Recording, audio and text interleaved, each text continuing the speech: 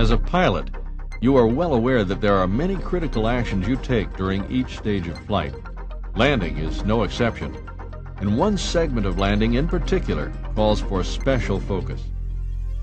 A landing is not over once the main gear touches down. Although derotation, the time between main gear touchdown and nose gear touchdown, is extremely short, matter of seconds, your actions during these few seconds will help ensure a smooth, trouble-free landing. Over the past few years, incidents of hard nose gear impacts have been increasing. If the impact is excessive, significant structural damage may result. In most incidents, the main gear touchdown was relatively normal. Structural damage resulted from high nose-down pitch rates generated by the application of full or near full forward control column during derotation.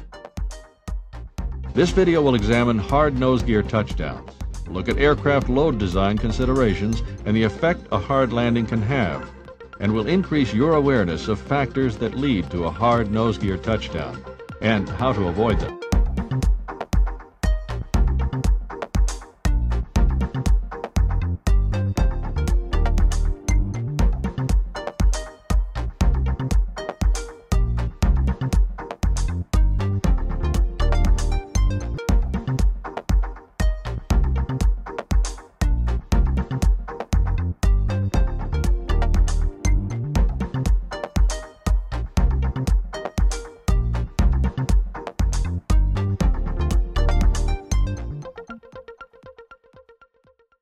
Let's begin by examining a typical hard-nosed landing incident. As in most occurrences of this type, the flight proceeded without incident up until the actual landing. However, after the aircraft touched down on the main landing gear, it started to bounce.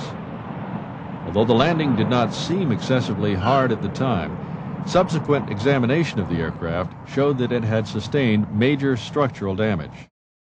Several factors can contribute to hard nose gear contact. In most cases where damage is sustained, one or more of the following factors are present.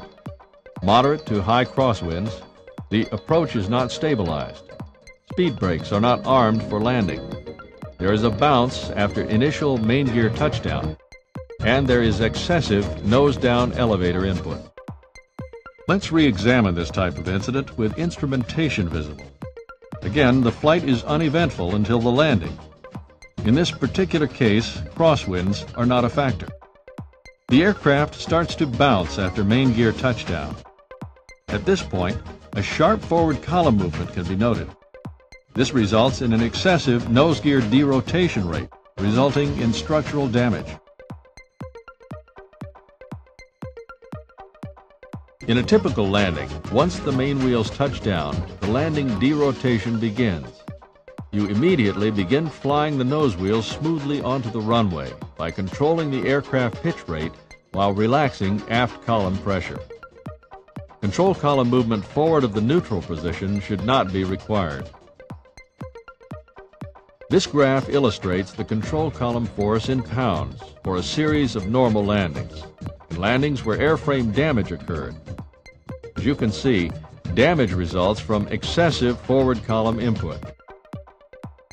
Over the years, examination of flight test data from many landings with excessive nose gear derotation rates have resulted in enhanced design requirements that enable nose gear and fuselage structures to withstand harder nose gear contact. However, as this illustration shows, large forward column inputs can result in loads that exceed the design requirements. During a typical landing, the maximum nose gear load is well below the structural capability of the airframe. As forward pressure increases, maximum nose gear load also increases, eventually surpassing the structural capability of the airframe, reaching a point where possible damage may occur. Avoiding a hard landing that may lead to structural damage begins with a stabilized approach. The following parameters recommended by the Flight Safety Foundation define a stabilized approach. Should be met by 1,000 feet above touchdown in IMC conditions. The aircraft is on the correct flight path. Only small changes in heading and pitch are required to maintain the flight path. The aircraft speed Not more than VREF plus 20 knots indicated airspeed, and not less than VREF. Sink rate is no more than 1,000 feet per minute. The aircraft is in proper approach and landing configuration. Power setting is no lower than the minimum specified for the type of aircraft. And all briefings and checklists have been performed. All of these approach parameters must be met by 500 feet, including visual approaches.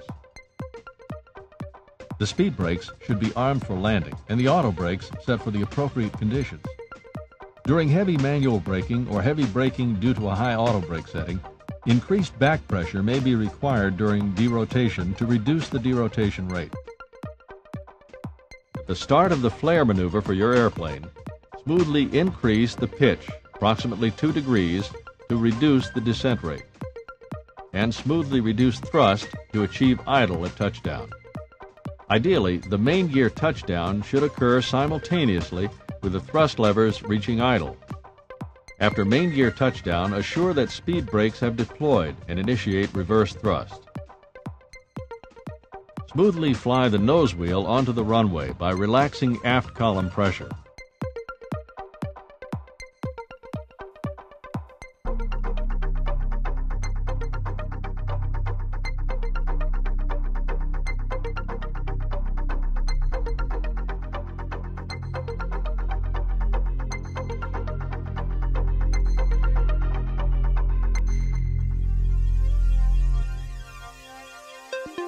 During crosswind landings, it's not necessary to apply full forward column in an effort to improve directional control. Use only light forward control column pressure. The rudder provides the required directional control until the airplane is at a relatively low speed, and the rudder pedal nose wheel steering is used to complete the landing rollout.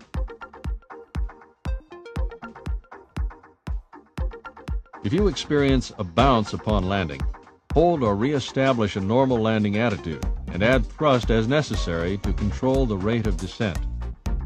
If the bounce is shallow, what might be considered a skip, you do not need to add thrust.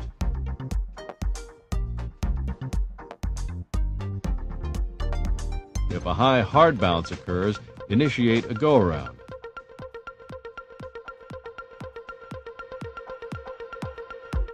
While following these techniques to avoid a hard nose gear touchdown, you must consciously avoid putting yourself into a situation that may result in a tail strike. To do this, do not allow airspeed to decrease below a minimum of VREF plus 5 until starting the landing flare maneuver. Do not use stabilizer trim prior to or during the landing flare. And do not hold the airplane off in an attempt to make an extremely smooth landing.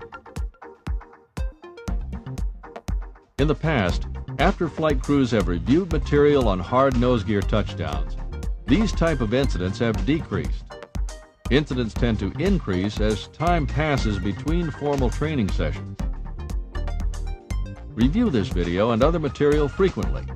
Avoid placing yourself in a hard nose gear touchdown situation.